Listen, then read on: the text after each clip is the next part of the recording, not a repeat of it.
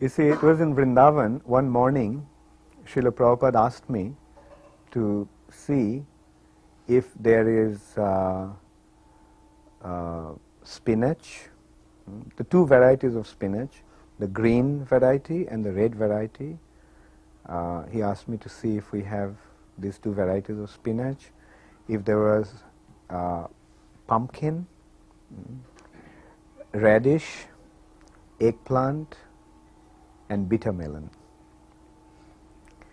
So I went to the kitchen and, you know, was, in Prabhupada's kitchen there was no mm, spinach. so I went to the deity kitchen and devotee kitchen, you know, and I was told that that was the month of spinach fast. So I went and told Prabhupada that Prabhupada, this is Chaturmas and this is the month of spinach fast. So Prabhupada asked me, is everyone observing Chaturmash? so, so I got the message. So I myself went to the market uh, to buy everything. and I went to the market and I got, I thought I got everything. Uh, then I came back and I told Prabhupada, Prabhupada, I got everything. So Prabhupada asked me what you got. So I said, I got these two varieties of spinach, I got eggplant, I got pumpkin, I got radish. And then I remembered that I forgot to get bitter melon. But, uh, you know, it was so stupid of me, you know, like I, I told Prabhupada, I lied to Prabhupada, and is the bitter melon. So I thought, you know, just arrange to get the bitter melon, you know, like, and so Prabhupada said, bring them. Yeah. so uh, I ran out, so Prabhupada asked me to bring it. So I ran out, and there was an employee in the kitchen, in the guest house.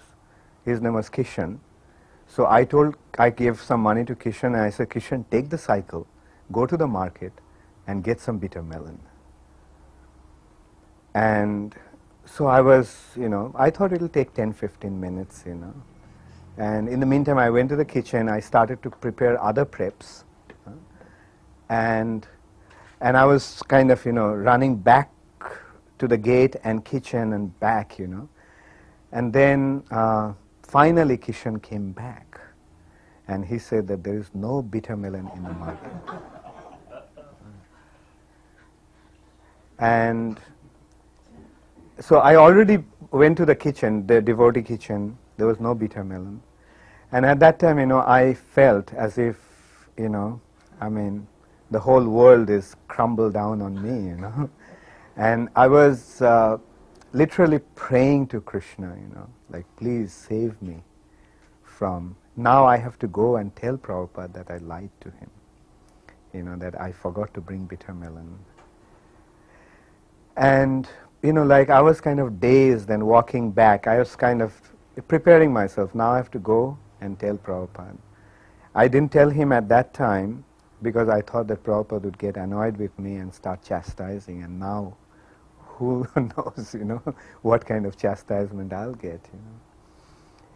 And so usually what I used to do is take the passage uh, next to the temple, uh, the Parikrama Marg, and walk up to the uh, up to Prabhupada's kitchen.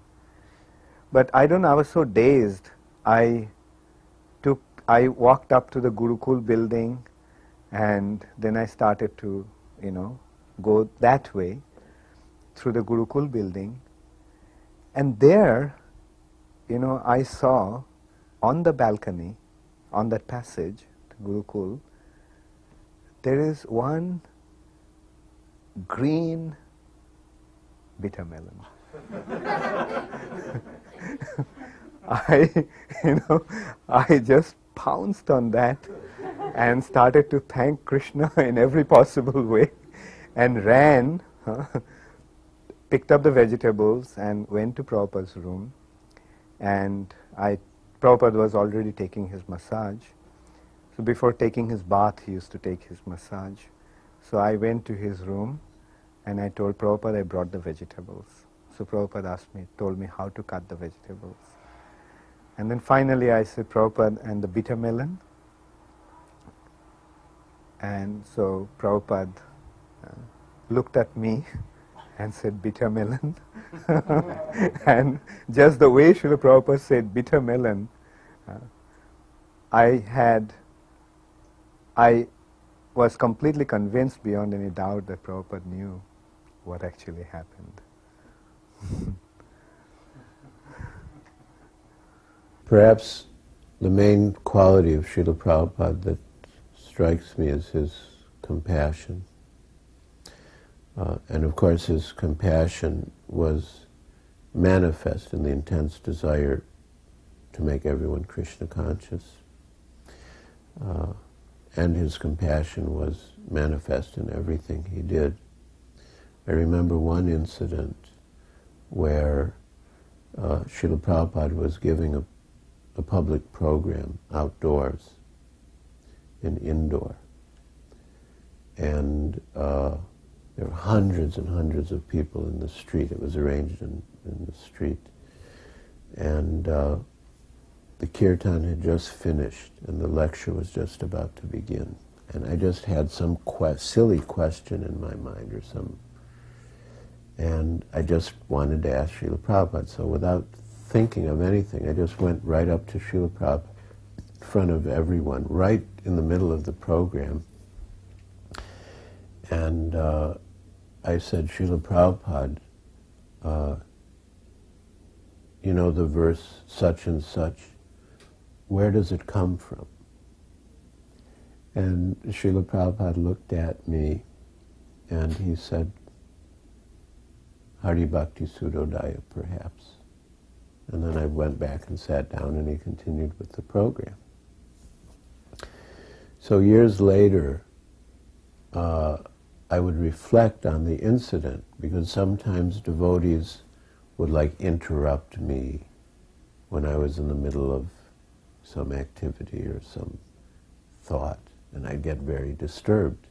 And then I'd think of Srila Prabhupada, you know, right in the middle of a big public program. For no reason at all, I just go up to him and ask this silly little question. And he didn't get upset at all. He very patiently and considerately answered it. So whenever I feel someone is like interrupting me or intruding, I think of Srila Prabhupada and how kind he was. Madhusudana asked Prabhupada after his lecture, if prasadam is stale, is it still all right to eat it if it gets old? And Prabhupada said, simply, if you have got the faith. Meaning if you don't, you'll get sick, and if you do, then of course you can take.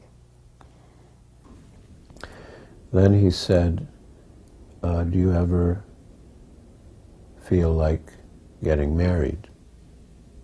And actually I, I didn't. So I said no.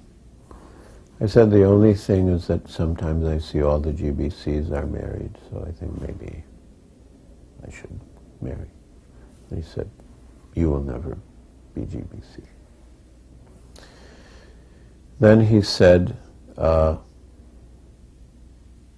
uh, that the demands of the body, uh, like sex or any other demand, are like itching.